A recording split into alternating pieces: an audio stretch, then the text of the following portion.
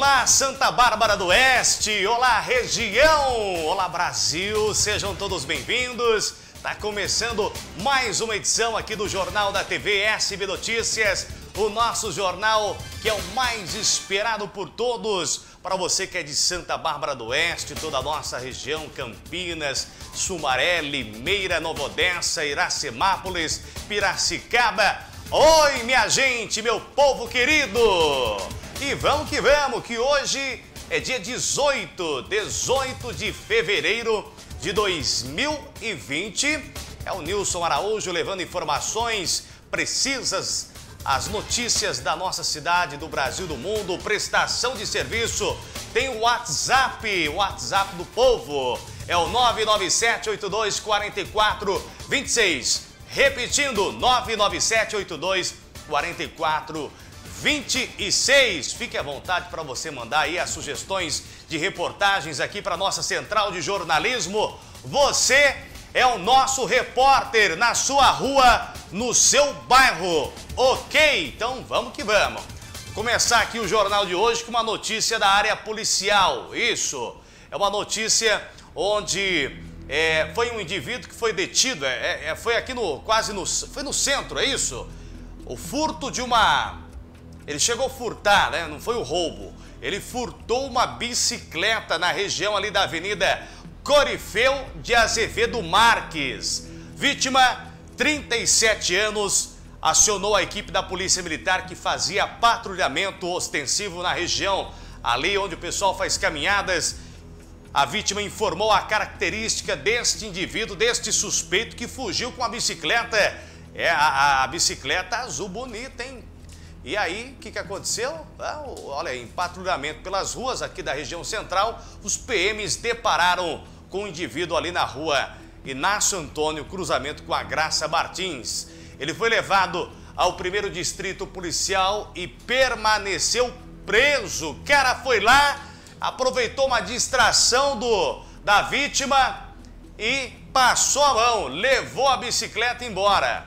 Mas ele pensou que tinha dado um dia espertinho a polícia já foi comunicada. Bicicleta nova, hein? Quanto que vale uma bicicleta dessa aí, produção? É? Mais de... Mais de dois mil reais, creio eu, né? Mais de dois mil reais. Tá aí, ficou à disposição da justiça. Minha gente, vai se inscrevendo aqui no nosso canal, canal da TV SB Notícias. Não se esqueça de se inscrever no canal. Clique também no gostei e ative o sininho para que a gente possa estar sempre avisando você dos novos vídeos postados aqui do nosso canal. E no término aqui do nosso programa, compartilhe aí nas suas redes sociais, no seu Facebook e depois no final a gente compartilha também no canal no YouTube. Bom, vamos falar de coisa boa, vamos falar de investimento? Isso! Você que está sonhando aí ó, em mudar de vida, invista em terrenos em vista neste recadinho que eu vou passar para você agora.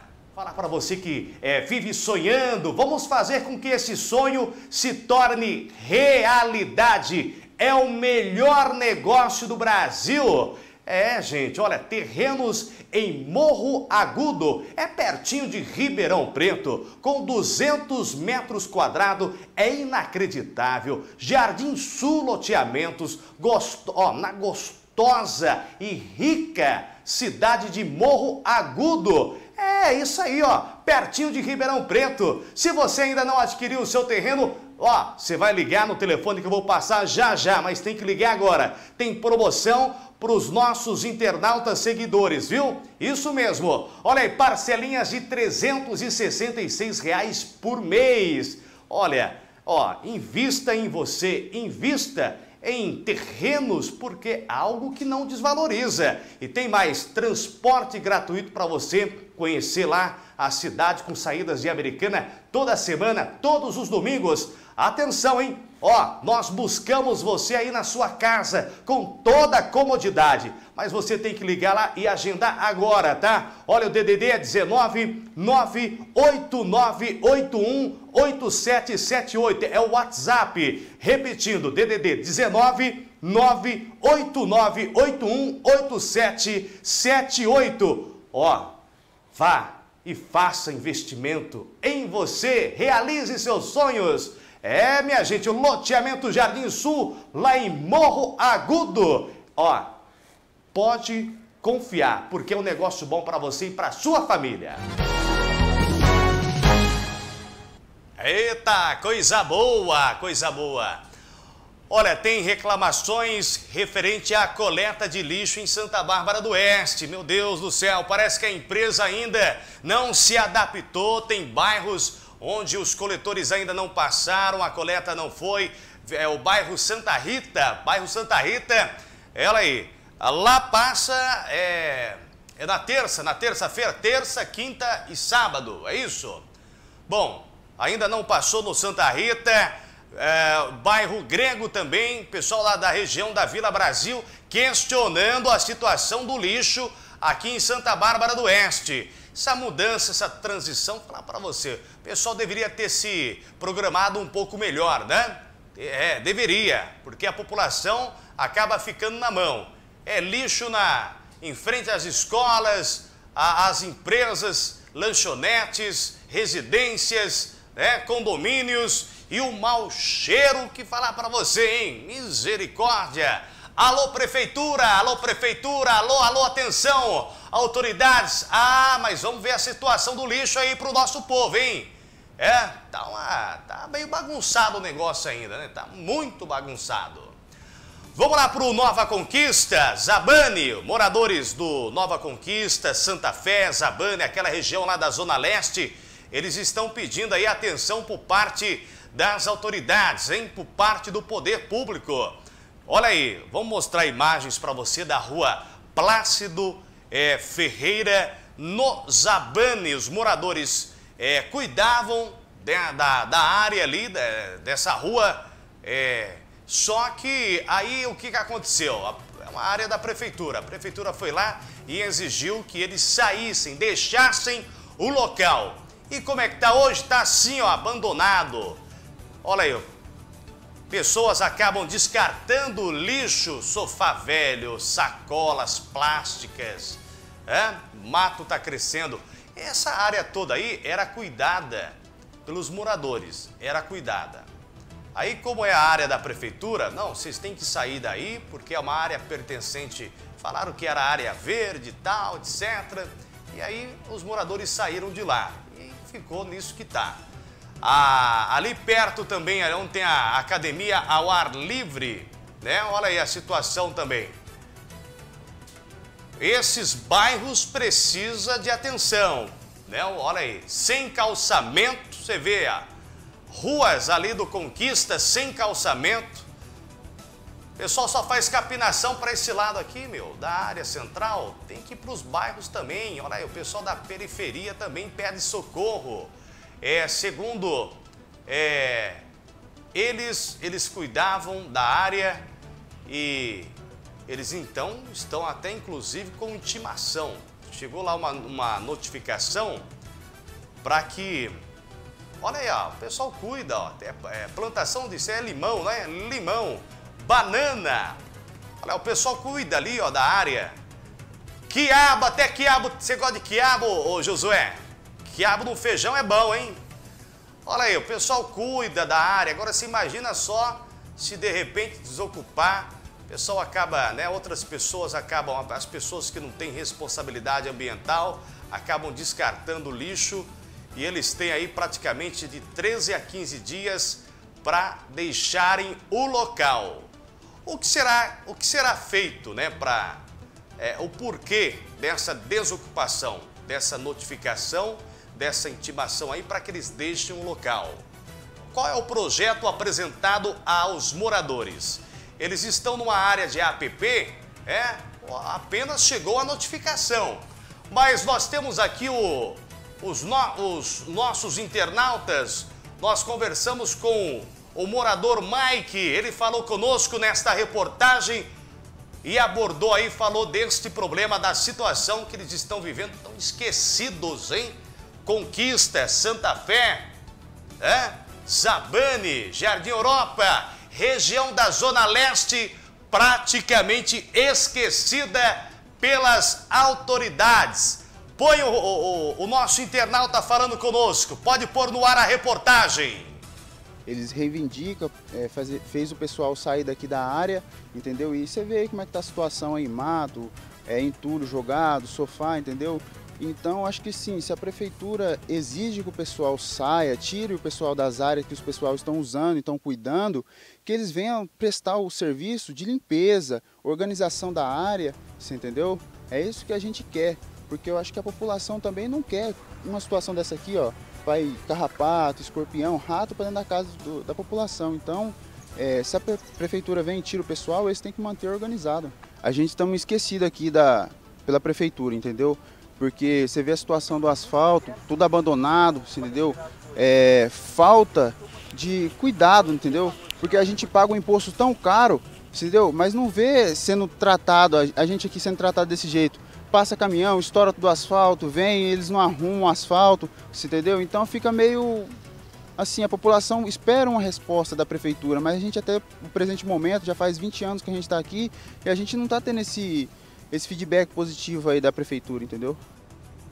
É, o que acontece é que infelizmente a prefeitura só cuida aonde interessa a ela, essa é a realidade, né? Só cuida aonde interessa a ela, mas a, a área lá, né, da Zona Leste, como os bairros que nós é, citamos, Abane, é, é, Nova Conquista, Santa Fé, está deixado de lado.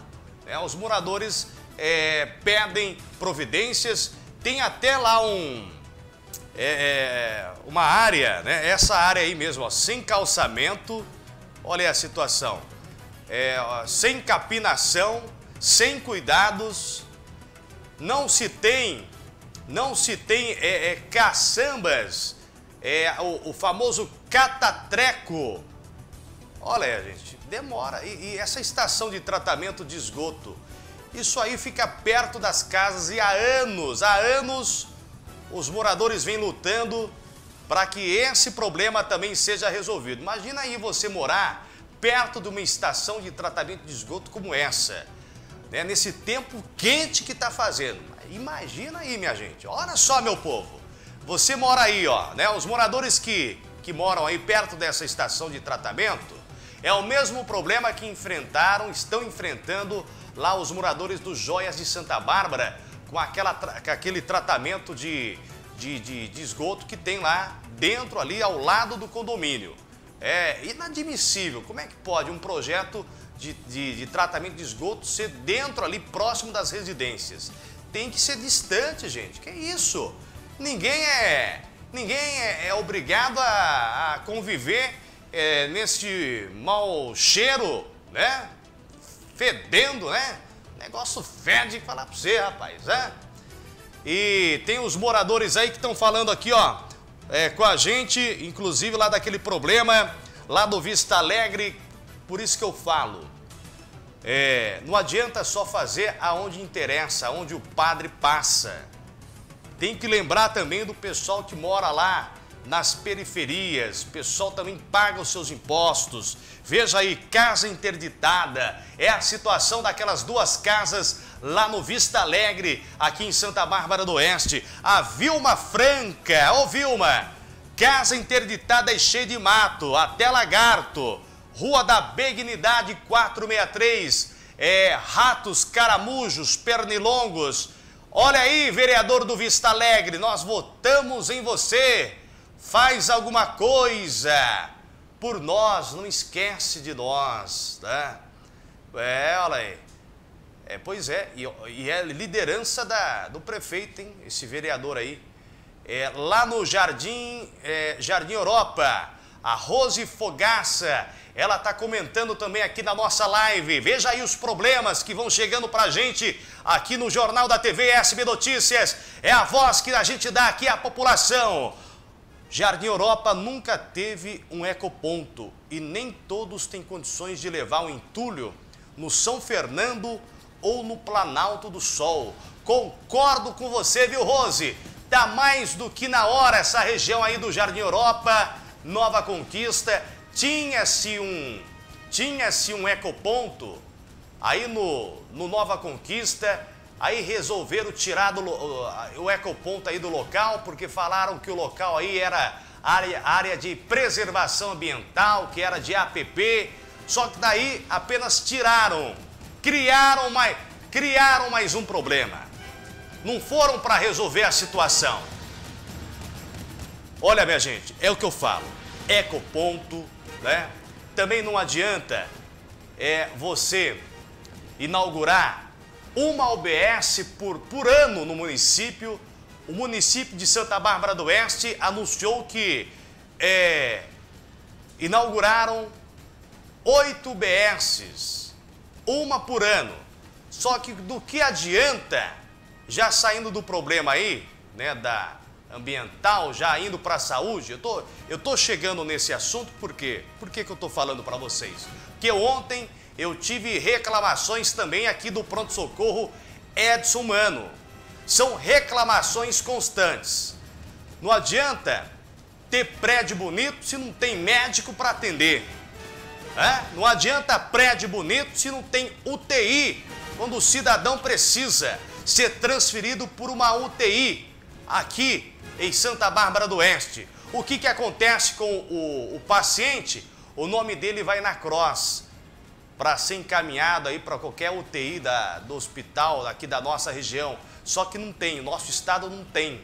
Não tem vagas de UTI. E isso é que vai fazendo com que a gente perca paciência. É? O povão fica revoltado. É?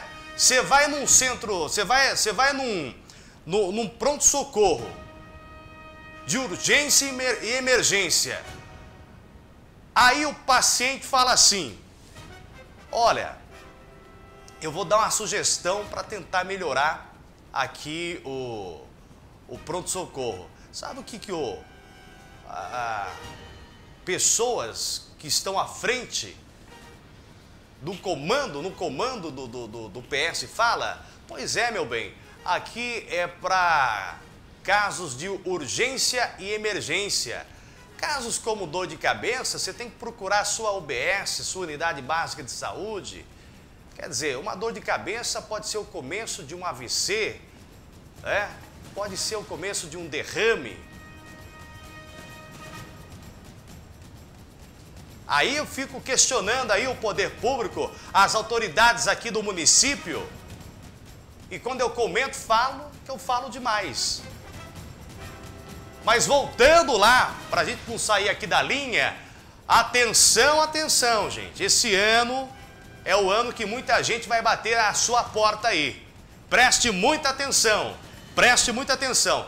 Eu, eu fiquei, eu fiquei, olha, vendo as imagens lá do Conquista, lá do Santa Fé, do Zabane, eu fiquei horrorizado com o descaso que o poder público tem. A gente sabe que tem uma parcela, infelizmente, de pessoas que não têm consciência com o meio ambiente, isso tem. Né? Não vamos colocar só a culpa aqui no poder público. Mas uma situação dessa aí, a prefeitura cobra que o munícipe faça a construção de calçada, só que a prefeitura mesmo ela não dá exemplo.